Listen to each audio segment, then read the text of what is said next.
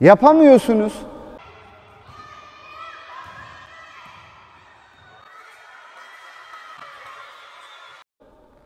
Ama yapamayacağınız anlamına gelmez.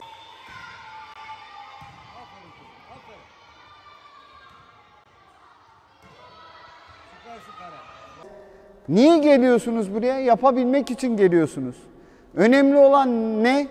Ne kadar yapabileceğiniz. Yapamam diye bir şey yok. Merhaba ben Cevat Bor. Ee, 26 yıllık beden eğitimi öğretmeniyim. 26 yıldır da voleybol antrenörlüğü de yapıyorum. İlk başta 10 yıl kadar e, sadece okul takımı çalıştırdım. Sonrasında kulüp takımlarını da çalıştırmaya başladım. Yapamayacağınız bir şey de yok. Beceremeyeceğiniz bir şey de yok. Şu anda da Bahçeşehir Koleji Spor Kulübü adına e, müsabakalara çıkıyoruz. A şahsı sizden e, çok daha iyidir. B şahsı sizden çok daha kötüdür. A'ya bakarsın üzülürsün, B'ye bakarsın sevinirsin. Üzüntün de sevincin de başkasına bağlı olur. Voleybola e, gerçekten çok küçük yaşta başlamıştım ama yanlış başlamıştım çünkü hocam yoktu.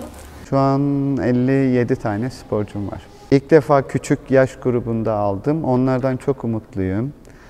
Ee, yaklaşık 10 ila 15 tanesini e, lige kazandırabileceğimizi düşünüyorum.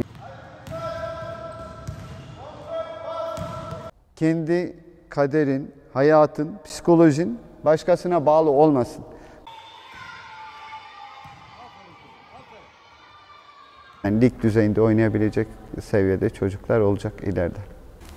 Oo, şuralar nokta nokta nokta oluyor. çünkü e, o top size çok ağır geliyor. Çat çat diye vuruyorsun ya.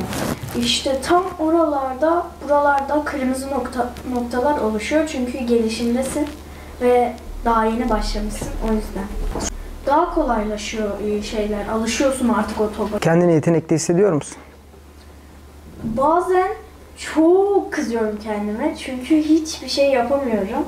Motivasyonum yüksek olmuyor. Bu- Hoca bizi özel eğitim aldı yani. Güzel yetiştirmek istiyor. Daha çalışmamız gerekiyor. Dün neydim, bugün neyim, yarınki hedefim ne diye düşünün. Hep kendinizi aşmak için çaba sarf edin. Sizinle aynı olan insanlar da olacaktır. Sizden daha iyiler de olacaktır. Sizden daha kötüler de mutlaka olacaktır. Hayatta. Her alanda böyle. Her zaman bütün çabanız kendinizi daha iyiye taşımak olsun. Anlaştık mı? Hedefiniz olabildiğinin, yapabildiğinizin en iyisini yapabilmek. Buraya da onun için gelin. Yapabileceğimin en iyisi ne? Bunu düşünerek gelin. Hep benim size anlattıklarımı, göstermeye çalıştıklarımı mutlaka televizyonda da izleyin. Ee, o izlemek görsel antrenmandır. Beyninde sürekli o hareketi kendin yapıyormuş gibi düşünmeniz bu zihinsel antrenmandır. Burada da bedensel antrenman yapıyorsunuz. O üçü olmadan, üçü birleşmeden olmaz.